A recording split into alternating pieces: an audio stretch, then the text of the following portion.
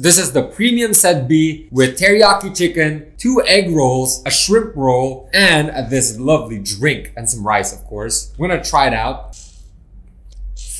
Teriyaki chicken. That's so tender, flavorful. That's actually pretty damn good. We're gonna try this spicy mentai.